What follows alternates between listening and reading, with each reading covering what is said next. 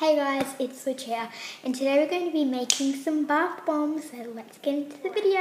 So what you're going to need is a knife, a plate, an old cup, one lemon, half a cup of bicarb soda, some food colouring, some sort of mould, and a bowl to mix it all in. So first you're going to get one cup of bicarb and put that into your bowl. So let's do that. So when we've done that, this actually isn't a cup, I just kind of estimated. Just give it a little stir and try to get the big bits out, doesn't really matter. And then you just want to cut up half a lemon and squeeze half of it into a bowl. Um, so I'll just do that. And okay, so once you've got a cup of a cup a lemon juice into your cup. I only had a little bit. You only need a little bit. Um, I didn't have a very juicy one. So I'm going to get my food colouring and I think I'm going to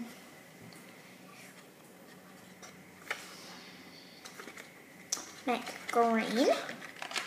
So, open your lid and put about just a couple of drops into your lemon juice. Mm. What?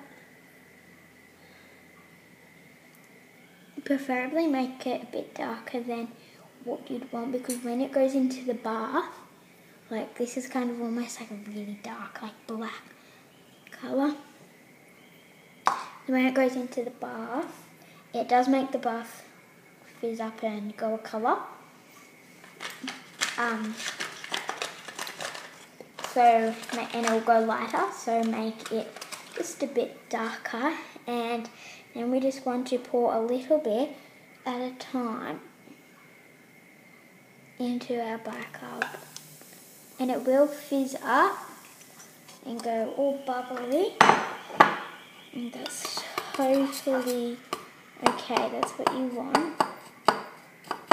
Because it is the bicarb that is going all like that. So I'm just going to do that till this is all, um, I'll show you. okay, so when you finish it should look something like, try to get as much as the bicarb lumps out. As you can see, I've still got bits of bicarb Alright, so then you just want to get your bicarb and give it a good mix with a knife or something. I've already done that. And then you just want to uh, get a plate and move, take everything off the plate. Get your um, mould, put the mould on the plate and then fill your mould up with the bicarb um, it will not go on your hand. You won't get stained hands. And if you have leftover, just put on the side because you can put crumbs in your bath. It's still going to be the same. It's just not going to... It's still the same, just not in a bath bomb shape or shape will just be a bit crumbly. That's alright. So I'm just packing it as much as I can. So, so you just want to put it in the freezer for an hour or you could wait 5 billion hours and let it in room temperature.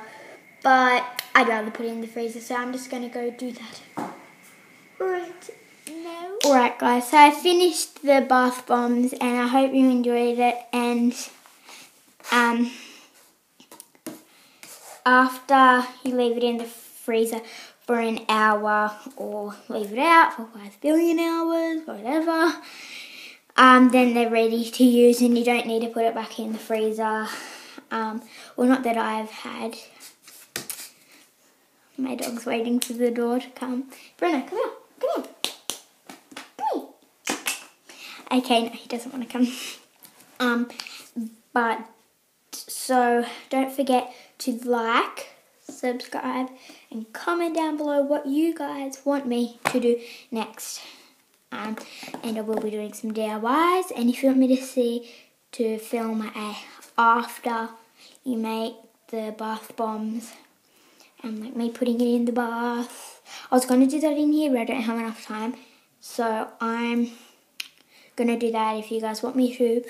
And yeah, so oh, the question of the day is